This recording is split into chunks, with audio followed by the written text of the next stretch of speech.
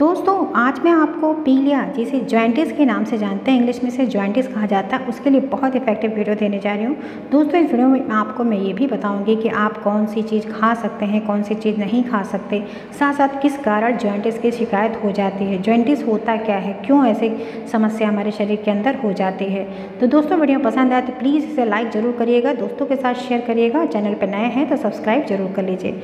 दोस्तों, सबसे पहले हम समझते हैं कि पीलिया होने का मुख्य कारण क्या होता है। दोस्तों, होता क्या है, जब आपके रक्त में बहुत अधिक बिलीरुबिन एक पीले नारंगी पदार्थ होता है, ये आपकी ही लाल रक्त कोशिकाओं में पाया जाता है। जब ये कोशिकाएँ मर जाती हैं तो लीवर इसे रक्त प्रवाह से छानता है और जमा करता है ताकि वे मल के रास्ते पित्त से गुजर सके।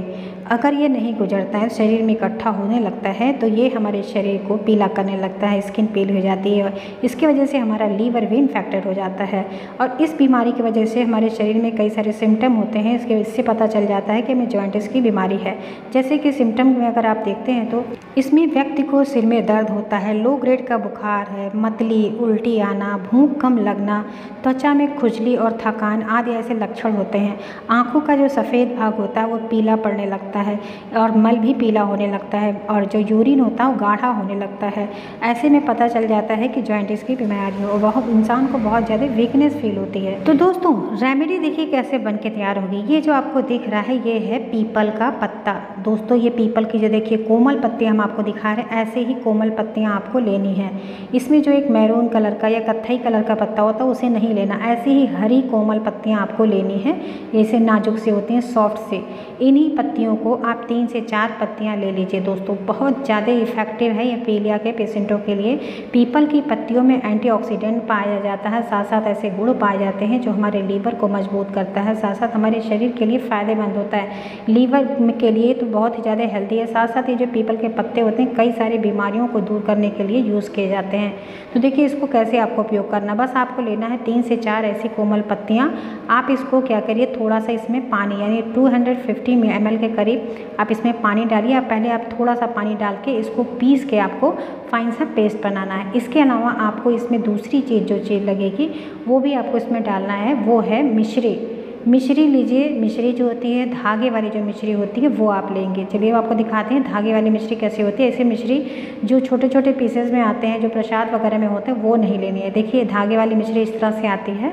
इस, इसमें जो होता है, बीच में धागा होता है। ये हमारे शरीर में ठंडक प्रदान करता है, यानी इसकी तासीर ठंडी होती है, जो पेट के और सारी बीमारियों को दूर करता है, खून की कमी नहीं शरीर में होने देता है। दोस्तों, बहुत ही ज़्यादा फ़ायदेमंद है। तो आप इस रेमेडी में पीपल के पत्तों के अलावा ये धागे वाली मिश्री लेंगे।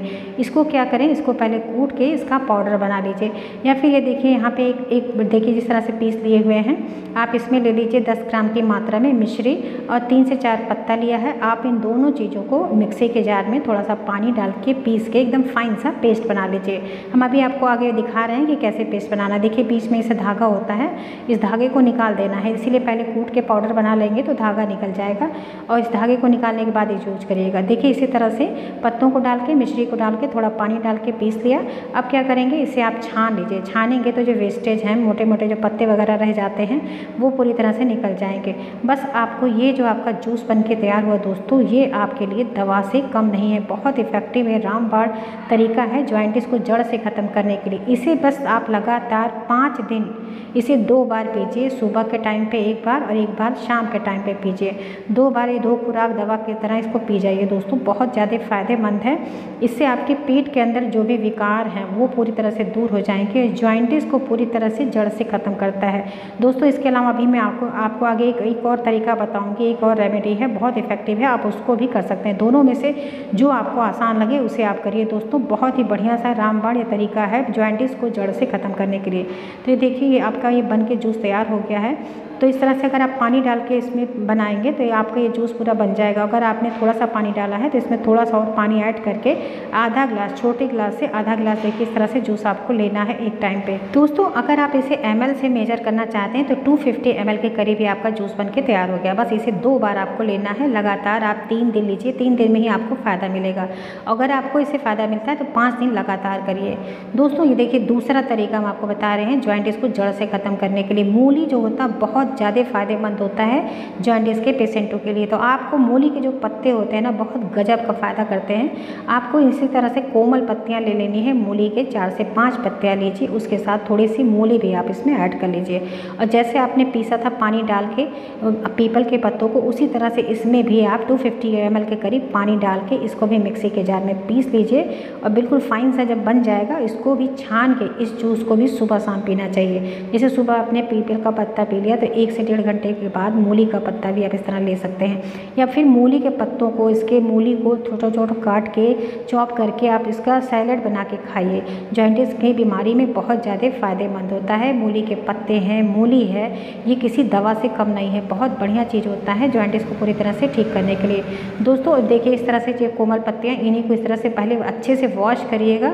नहीं हो तो हल्का सा गुनगुना पानी में इसको दो मिनट के लिए रख दीजिए और उसके बाद आप इसको पीस के इसका, आप इसका जूस बनाइए, क्योंकि मूली की जो पत्तियाँ होती हैं, मिट्टी वगैरह लगे हों तो उसको ध्यान से आप इसको धुल के अच्छे से वॉश करके तभी यूज़ करिएगा, क्योंकि इसको डायरेक्ट आपको पीना है तो इस बात का साफ़ सफ़ाई का बहुत ध्यान देना हो। तो जॉइंटिस की बीमारी में पानी भी है तो उसे अगर आप और है तो ठीक है, नहीं है तो फ़िल्टर में आप यूज़ करिए, या फिर उसको बॉयल करके, ठंडा करके आप पानी तभी पिया करिए। साफ़ सफ़ाई का बहुत ध्यान देना होता है जॉइंटिस की बीमारी में। तो देखिए, इसको पीसने के बाद इसी तरह से छान देंगे, और ये जूस बन के आपका तैयार हो जाएगा। इसे भी आपको टू फिफ्टी के करीब सुबह शाम दो टाइम पे लेना है। तो दोनों में से जो भी आप, आपको जूस ये पसंद आए, आप उसे ले सकते हैं। दोस्तों जॉइंटिस की बीमारी में छाछ और दही ये बहुत ज़्यादा फ़ायदेमंद होता है। छाछ कैसे बना सकते हैं बीमारियों में लेने के लिए मैं आपको डिस्क्रिप्शन बॉक्स में दे दूँगी। उस छाछ को बनाना सीख लीजिए। उससे पेट की और भी तमाम बीमारियाँ दूर हो जाती हैं। आपका लीवर इतना हेल्दी हो जाएगा कि ये जॉइंटिस की बीमारी पूरी तरह से ठीक हो जाएगी। उस छाछ को छाछ तक्र के नाम से जानते हैं। मैं बहुत ही जल्दी मैंने अभी रिसेंटली अपलोड किया है। आप उसे डिस्क्रिप्शन बॉक्स में ज़रूर चेक करिएगा। उसको बना के दिन में दो से तीन बार ज़रूर पिया करिए। दोस्तों जॉइंटिस के लिए रामबाण दवा की तरह काम करेगा वो छाछ तक्र। अब दोस्तों, क्या चीज़ परहेज करना होता है? इसमें ज़्यादा ऑयली घी वाली चीज़, तली फली चीज़, बाहर का खाना, ये सब बिल्कुल आपको बंद करना है। खुले हुए खाने बिल्कुल नहीं खाने हैं। पानी भी है तो उसे उबाल के पीजिए। साफ़ सफ़ाई का ध्यान देना बहुत ज़रूरी हल्दी है, उसको थोड़े दिन के लिए अवॉइड करिए। दूध है, उसे एक महीने के लिए आप अवॉइड करिए। जब आप ठीक हो जाते हैं, उसके बाद भी एक महीने के बाद आप दूध, हल्दी, ये सारी चीज़ों का यूज़ करेंगे। दोस्तों, वीडियो कैसी लगी? कॉमेंट सेक्शन में ज़रूर बताइएगा। और वीडियो पसंद आई है तो प्लीज़ लाइक ज़रूर करिए। दोस्तों के साथ शेयर करिए। और चैनल पर नए हैं तो प्लीज़ चैनल को सब्सक्राइब ज़रूर कर लीजिए। और लेटेस्ट वीडियो को नोटिफिकेशन के लिए आप बेल आइकन को क्लिक करिए ऑल ऑप्शन पर ज़रूर क्लिक करिए। मिलते हैं नेक्स्ट वीडियो में किसी नई टॉपिक के साथ, तब तक अपना खुद को ख्याल रखें। Thank you bye bye take care